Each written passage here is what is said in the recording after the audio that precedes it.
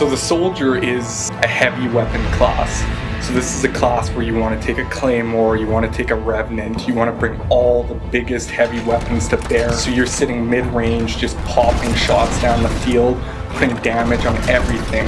I love the rage passive on the Krogan soldier being able to charge and take an Atlas head on, charging, headbutting, opening everything up, causing the biggest amount of damage. Just being able to be a Krogan in the Mass Effect universe is amazing. So the Adept is your traditional crowd control biotic class. Uh, what makes him interesting in Mass Effect 3 is we've added a lot more biotic combinations. So you can combo, for example, Singularity with Shockwave or Warp with Throw. So that gives him kind of a, a new uh, type of gameplay where he can deal with those bigger enemies by doing biotic combos and doing high damage on the bigger guys. Well, the engineer is all about that heavy hitting damage power, like overload, incinerate.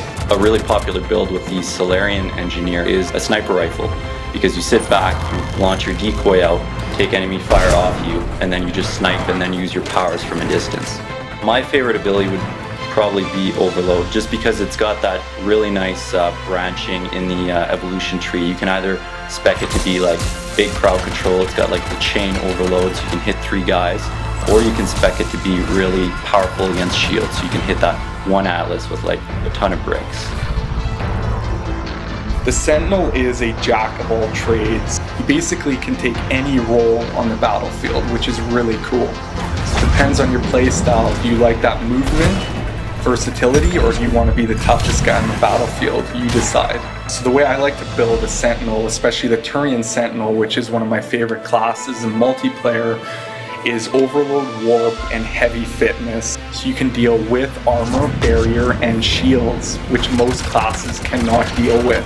So I've seen fully level maxed Sentinels take down Atlases by themselves because of the Warp Throw combos so don't give up on them, they're actually a very powerful class. The Infiltrator in multiplayer is a great class, great team class because you can just do all the objectives. You can cloak while you're disarming a bomb, you can cloak while you're resing a friend, you can get away easily.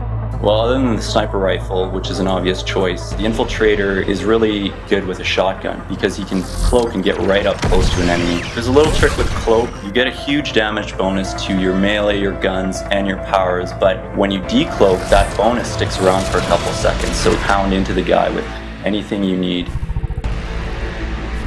So the Vanguard is the in-your-face class most vanguards will be charging in with shotguns, novas, and just taking everything on the battlefield head on.